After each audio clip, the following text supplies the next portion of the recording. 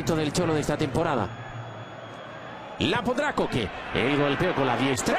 El remate. La peinada fue de Fernando Torres. Y la parada de Kiko Casilla para mandar el balón a córner es el primero del duelo para el conjunto colchonero.